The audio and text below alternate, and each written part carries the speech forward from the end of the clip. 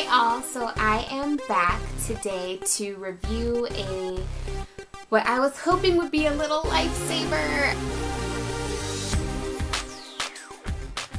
My sister and I were walking through Sephora the other day and she was like, oh, you gotta try this.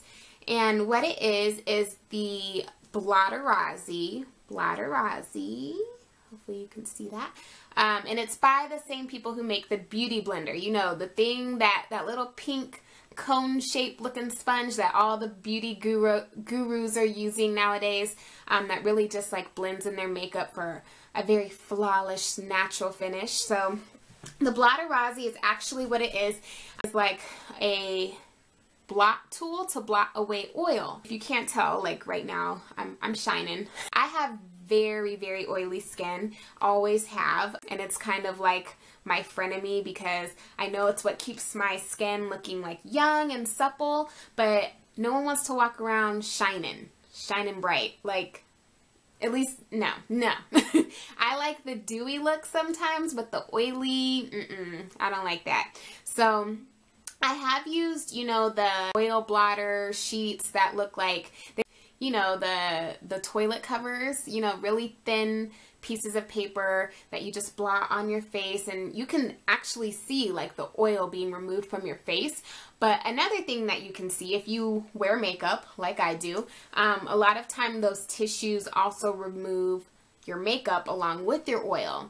And so that's no fun. You know, my my face starts to get oily probably within like two hours after applying makeup. I've actually had my makeup on my face today for about three hours.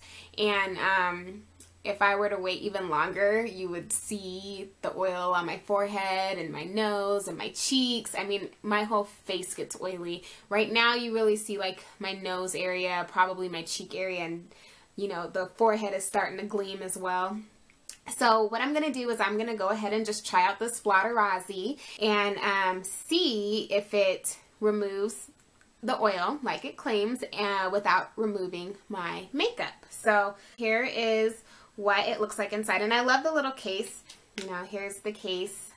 It has a mirror and then it has, it actually gives you two sponges. I like that. It has a little film cover over this sponge so that you know, the dirty one doesn't get this one contaminated. And then it also came with, I just have to find it.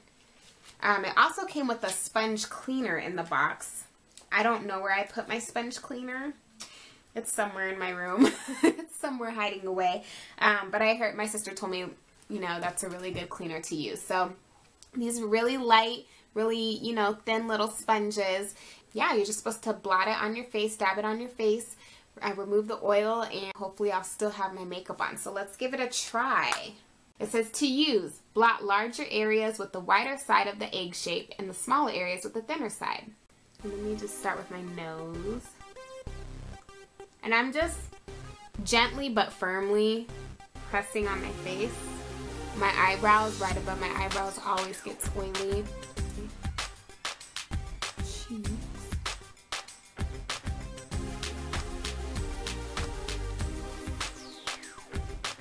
Well, I can already see that my face, it's definitely picking up the oil.